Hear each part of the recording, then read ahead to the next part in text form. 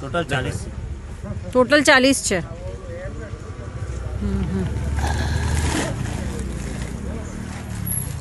किसने भराया? किसने भराया? वो मैं गया था हाँ। वहाँ से पोटले रखे हुए थे अब लेके चला आया किसने? कोई तो से पोटले रखे? किसका है किसका नहीं। हाँ, जो अच्छा। करते वो कभी कभार रखते हैं वहाँ। मैं घूमने जाता हूँ। और तुम लोग ले आते हो? हाँ मैं कितने कितने कितने समय से करते हो ये? एक दो बार किया ये बस। एक दो बार किया है। लेके आते हो? तो किसी को तो कांटेक्ट किया होगा ना? नहीं कोई कांटेक्ट नहीं किस्मत की बात है। जो बिक गया तो दे देता हूँ किसी को पचास सौ में। नहीं पर वो जो भरा होता है वो फ़ोन करते हैं ना तुमको कि नहीं यहाँ से ले जाओ मास्क। नहीं वो ऐसी बात वैसे नहीं करते वो हम किसी को ऑर्डर के साथ नहीं करते। नहीं करते। किसको उल्लू बना रहे हो? यार आज तो हैं? पहुँचानी चाहिए सर एम पे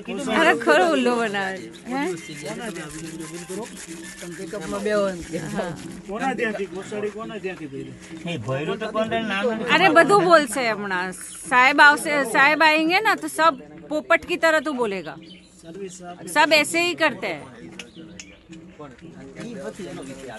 हाँ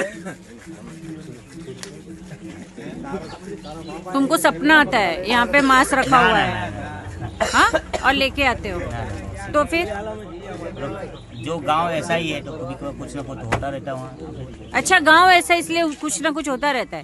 क्या होता रहता है? कोई काटता है कोई कोई भैंस काटता है या कोई फिर क्या कहता है पाड़े काटते हैं। अच्छा क्या क्या बना क्यों तुम्हारे तुम्हारे साइड में नहीं कटता है कि तुम इधर कौसाड़ी आते हो लेने के लिए? मैं तो कौसारी में रहता हूँ। मेरा तो इधर किधर लेके जा रहा था? इधर मैं जा रहा हूँ यहाँ कोसम्बा कहीं कहाँ पे कोसम्बा में? कोई भी जगह ऐसे। तो क्या कोई भी जगह पे रोड पे भी- बेचना शुरू कर देते हो नहीं नहीं ऐसे नहीं कोई जो ग्राहक हो उसको कुछ खरीद दीजिए कौन घर आ कहते कोई रहे भी हमारे वाले हो या यो- कोई और हो जो क्यों तुम्हारे वाले बोल रहे हो क्यों બાકી આપણે નવા માણસ આપણે ઓળખતા નથી નહીં તો હું તો અમને મને નામ ભાઈ આ નામ તે નામ તો તરત જ કીધું ભાઈ. એટલે અહીં એટલે આ એમ ગામનો નહીં, જમા- ભરત? ગામનો જમાઈ છું એટલે આપણે એમ નહીં આ તો જવાબ દેતા હું બરોબર. આવ રાખો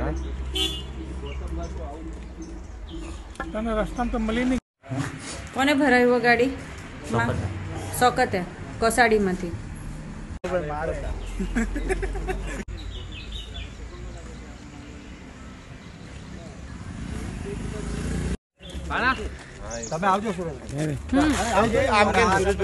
था कि जो पोटली बना के रखा है किलो किलो का गौमस है वो कितने में बेचता है? सौ रुपये किलो। और अगर बकरे का हो तो किलो का कितना भाव में जाता है? पाँच सौ साढ़े पाँच सौ। हिंदू ये तुम लोगों के लिए सबक है। ये ये सुनो तुम ये क्या कह रहे हैं? अब बकरा चिकन का भाव इतना बढ़ गया है क्योंकि तुमने खाना शुरू कर दिया है। इसलिए ये लोग गौ मांस खाते हैं जो सौ रुपये एक सौ दस रुपये किलो मिलता है। अब बता अब तो तेरे जो बाप दादा थे जो तेरे पूर्वज थे वो कौन थे? हिंदू थे। हिंदू थे ना? हम्म?